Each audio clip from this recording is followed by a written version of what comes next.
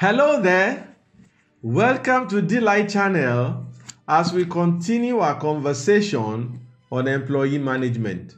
Last week, we did a quick detour to this topic because we thought it was critical enough to get a specific attention. And why are we doing this? We strongly believe that employee management is one critical piece in your jigsaw puzzle as you try to build a successful and enduring enterprise. And why is this important? Remember that famous quote if you want to go fast, go alone. If you want to go far, go with others. Those critical others are your employees. They are very, very important because when you find them and you know how to manage them, they will look after your customers, they will own your dream, they will run with it, they will look after your assets. And if your dream is to have a lasting and enduring enterprise, when you are no longer ready, willing, or even able to continue to lead the team, you would have a very strong team that will be able to cope without you. That is why we have been paying attention to this.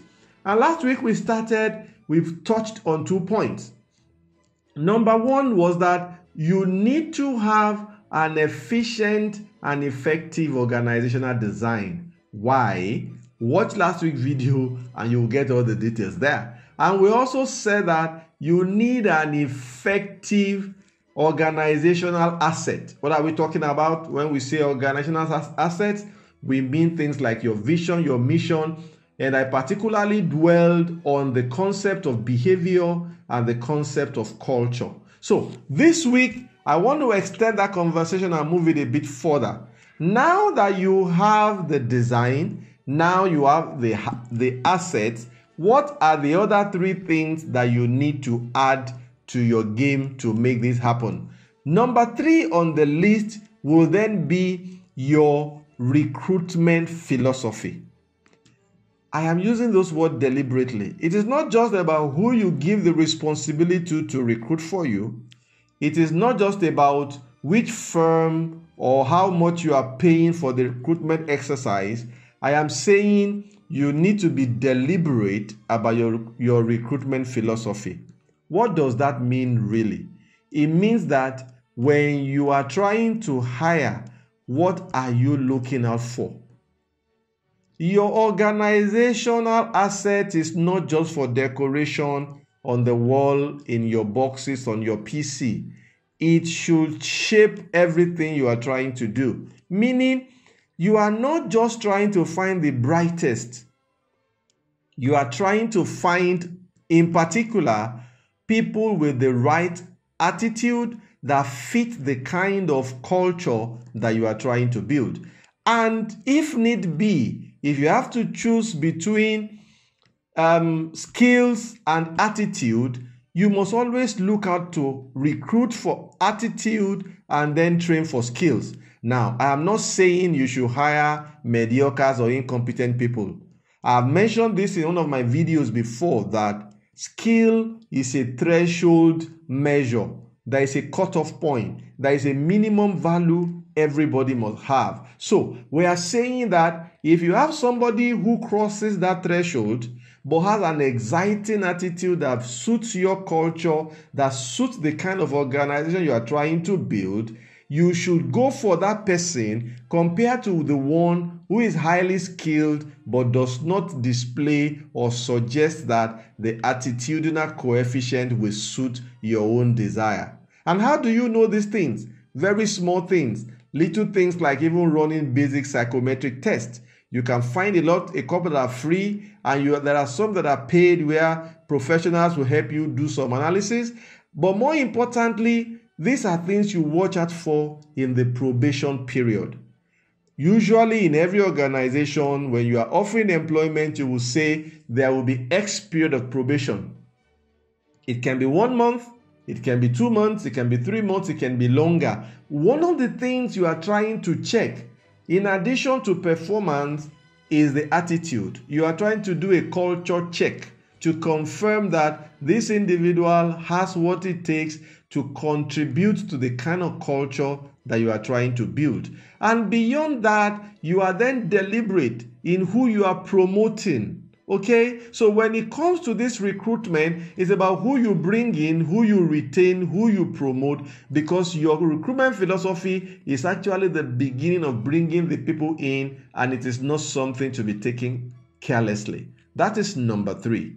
Number four will then be involvement and investment. Many times, organizations get so big, so busy, so straitjacketed that they forget that that man that is supposed to be a junior staff with you is probably a father somewhere, is a head of family somewhere, maybe even leading some non governmental organization somewhere. And instead of getting the whole man engaged in your organization, you are only utilizing a fraction of it. You are losing as an organization. So you need to be deliberate to take as much as is available in your employees. And if you have been deliberate from your design to your assets to your recruitment philosophy, you are likely going to end up with a big mass of people that fit what you are trying to do.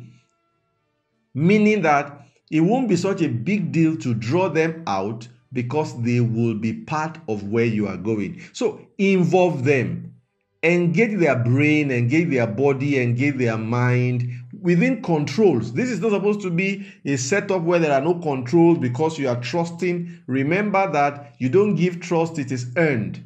And the name of the game is process. Okay? So trust everybody, but everybody must must must present their fact. It is not something to be given blindly, but you must involve them within control. Let them sign NDAs ensure that you have a very tight internal control where one person cannot absolutely abuse the system. And if you can invest in technology, let there be clear controls on it. There are many ways you do it to ensure that you don't just leave it to the integrity or the reputation of the individual. You build a system that checks itself. So that is involvement. Then investment speaks about you will see skill deficiency.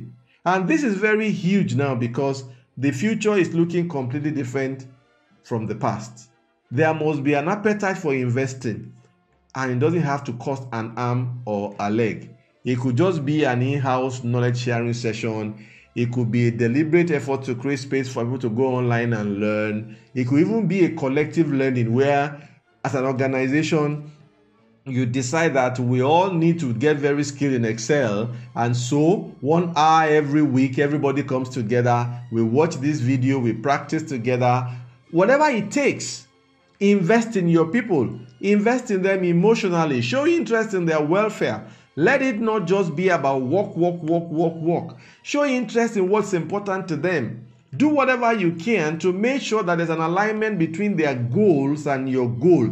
That's the only way they will settle. If you just want them to be chasing yours and you don't worry about their career direction, their career interest, their career development, you are only going to end up with a high level of employee turnover in your organization. So involve them invest in them. That would be point number four. And point number five that glues everything together for me. If you know me for long enough, you know I always talk about this.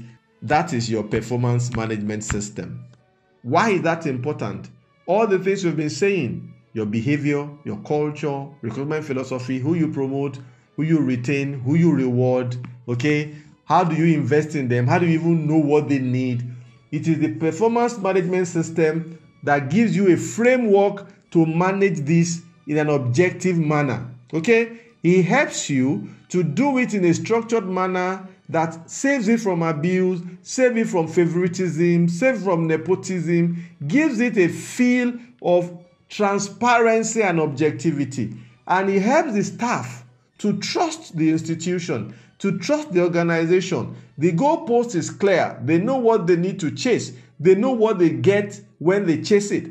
But in terms of the PMS, it goes beyond just the design. There must also be a an intense commitment to the implementation. There must not be any doubt in anybody's mind as to your commitment to enforcing it. Meaning, it doesn't get to the point of evaluation and you start feeling like oh everybody should uh, you want to do the central tendency kind of bias and let everybody just no. You are courageous enough to act on it. Those that need to get a cake you give them cake. Those that need to get cane you give them cane. And when you do it two cycles the organization sits up and you'll be shocked as the amount of value you are able to unlock in your organization. I'm not necessarily saying that these are the only five things you need to worry about. I'm only saying that if you take care of these five things, you will be on your way to building a group of individuals that will not just be a group, but will be a team. And we've had a video about building winning team that dwelt on the issue of team formation. That's why I'm not going back on that. If you want to know the details, go to our library. You will find it there and watch it. It complements this very, very importantly. But whatever you do, please take your people development seriously. Take your employee management seriously. It's a critical success factor in your journey of becoming an, a successful and enduring entrepreneur. That's a lot to say today. Thanks for being here once again this week. As usual, I'm always requesting you show us some love, send us questions, give us feedback, give us thumbs up. And if there are things we need to do better, please don't hesitate to share with us. We would like to hear from you. And until next week, when we then move to something completely brand new as well, still in this same space of the final building blocks, I want you to please never forget that Tim Mark is still my name and that all I'm trying to do is what? Make a little difference. I hope to see you next week. Bye bye.